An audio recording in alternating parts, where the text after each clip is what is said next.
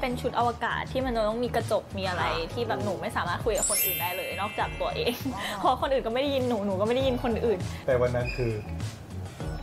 ไมค์ก็ดันไม่ได้ยินด้วย แล้วพัดลมก็หมดพัดลมหมดแล้วบอกใครไม่ได้ แล้วก็ลอยอยู่กลางอากาศ แล้วก็โดยสปิริตของเขาแล้วครับเขาก็ไม่บอกเราว่าว่าหนูไม่ไหวแล้วคือนะจริงๆถ้าเขาแค่ยกมือหรืออะไรอย่างเงี้ยอ่าแต่เขาดันรอจนคัดแม่ช่างแต่งหน้าตบกระจก ฟีนพูดลูกฟีนอย่างเงี้ยหนูแบบไม่รู้เรื่องกว่าหนูจะแบบ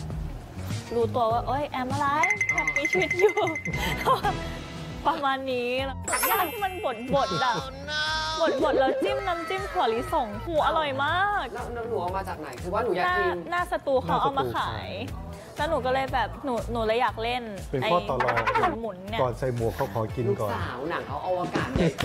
หนูจะมาแพ้บางหมุนล่างเลยวะ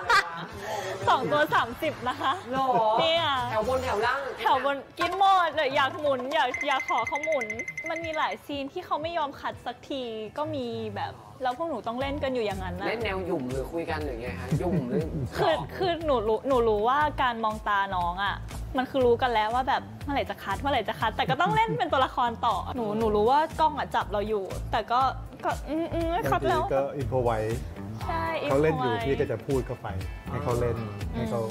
เขาก็โอเคเขาก็รับเขาก็เล่นกันได้แล้วแล้วที่เล่นได้ใช้หมดทั้งหมดไหมคะถามแทนได้น้องใช้ได้ใช้ในหนังก็จะเห็นความทุ่มเทของเขาทั้งค่ะคู่อืมมันจะมันจะพิสูจน์แหละครับอืมด้วยสุดท้ายมันจะพิสูจน์ด้วยด้วยตัวหนังที่เขาทำมาดูหนังไทยที่เป็นอวกาศเรื่องแรก เป็นหนังที่ทุกคนน่าจะภาคภูมิใจอีกเรื่องหนึ่งค่ะอืมทุกโรงภาพยนตร์วันที่ 4 กรกฎาคมค่ะเจอกันค่ะ